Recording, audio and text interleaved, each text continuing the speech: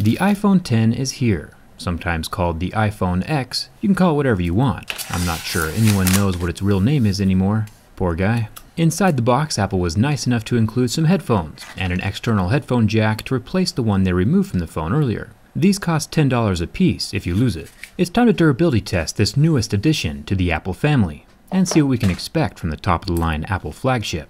I am worried about these antenna lines. It'll be interesting to see if they give up the ghost like we saw in the Pixel 2 or if Apple's stainless steel frame is strong enough to hold this fruit together. Let's get started.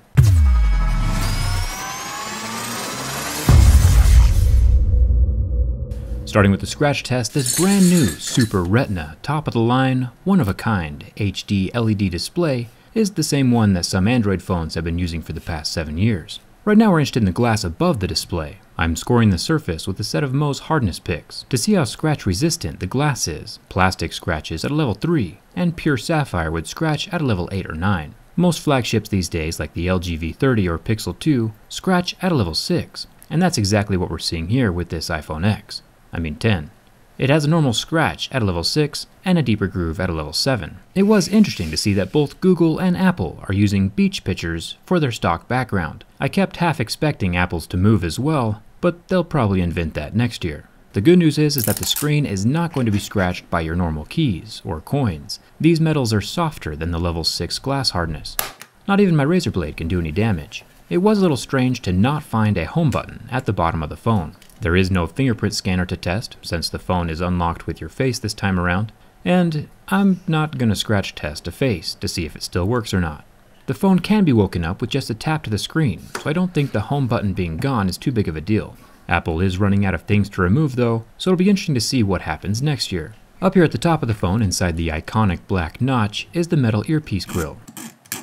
Slightly recessed under the glass, the metal grill holds its shape and won't be falling out. Plus, the holes are small enough to keep dirt and metal shavings from getting inside the magnetic speaker. Thumbs up for that design. The 7 megapixel front facing camera is under the same glass as the screen, so no scratches happening here. The back of the phone is also covered in glass, and this is where things start to get bad for us as consumers. The scratch resistance is normal with no damage being done by my razor blade. The iPhone logo is underneath the glass, so it won't be rubbing off or get damaged. That's a good thing. It looks like this was the same tempered glass that was used on the front of the phone, scratching at a level 6 on Mohs scale. So keys and coins won't do damage, but pocket sand and anything else over a level 6, like granite countertops or tile, will scratch the glass. So if you are the type of person who wants to keep your phone pristine, scratch, and fingerprint free, one solution is a skin.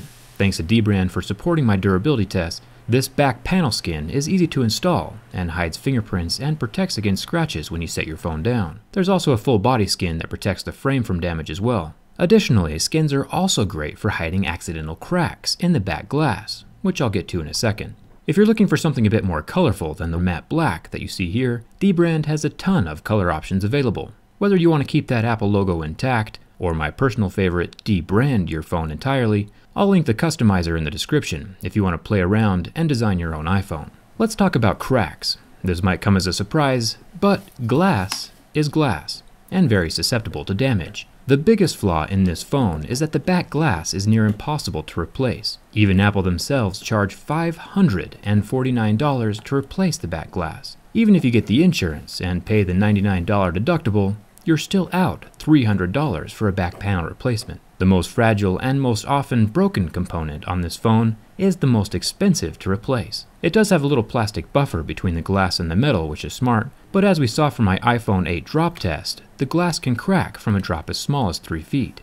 I would like to see, by a raise of hands, who here wants to pay $549 for a back glass replacement. Hey Jerry, what? Nobody raised their hands. I guess $549 is a lot of money. But iPhones get dropped a lot. Won't it hurt Apple's image if there's a bunch of unfixable broken iPhones walking around a year from now? Yeah. That's like getting a flat tire and needing to buy a whole new car. I know. Do you think Apple will change their pricing to help their customers in the future? Probably not. Well, that's unfortunate. If you do accidentally crack your glass and don't want to pay Apple's exorbitant pricing, skins are a valid way of making the phone look new again. The flawed back glass construction aside, this camera on the phone is pretty awesome. Dual 12 megapixel sensors with a telephoto lens is a fantastic combination. Cameras are something Apple does really well.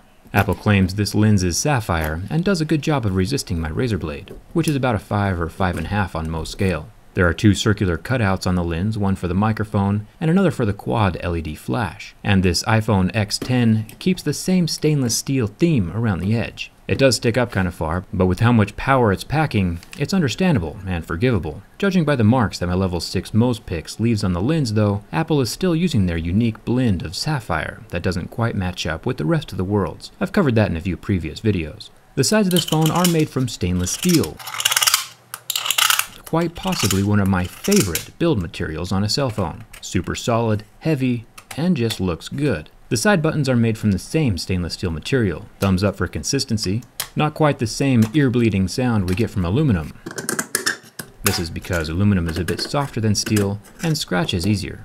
Down to the bottom of the phone, where the headphone jack used to be, may he rest in peace, I found something pretty cool. Apple's attention to looks and detail is probably one of the best. Inside the speaker and microphone holes, we get the matching stainless steel grill that flows pretty well with the exterior design of the phone. The little things like this is what sets Apple apart from the competition. Well, that, along with the extraordinary superior dongle selection in the Apple Store. This black plastic buffer around the edge of the front glass, in between the glass and the metal frame of the phone, is a good thing to help absorb some of the impact and stress from drops. It's similar to the buffer we saw on the back panel.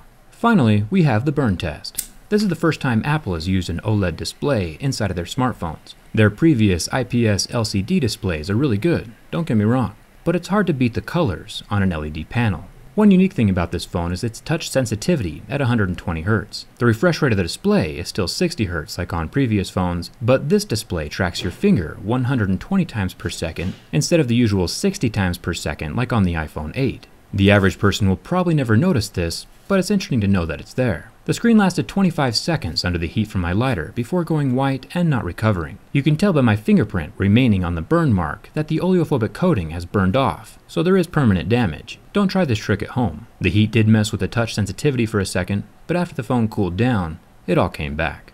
And finally the bend test. It's time to see if those antenna lines are a weak point in the phone's design. Flexing the phone allows us to see how well the phone is constructed, and gives a general idea of any flaws that will present themselves in the coming years that you own your phone. There is a very minor flex of the body as I bend the frame, but there is no screen separation or body damage along those antenna lines, so the water resistance should remain intact. This is an incredibly solid phone. The Achilles heel of the iPhone X and iPhone 8 design is its irreplaceable glass back. It won't bend, scratch, or burn, but one little drop and it'll be cracked forever. $549 is just an incredibly unrealistic and unreasonable charge for something as fragile and prone to breaking as glass. Aftermarket Samsung back glass replacements are $20, so it can be done. Apple just chooses not to. To each their own though, this phone passes my durability test with flying colors and will make a great addition to any Apple ecosystem. Just consider getting a case or a skin for protection. I'll have a link to dbrand in the description right below this video so you can design your own iPhone. What do you think of this new iPhone 10X? Let me know in the comments. Come hang out with me on Instagram and Twitter, and thanks a ton for watching. I'll see you around.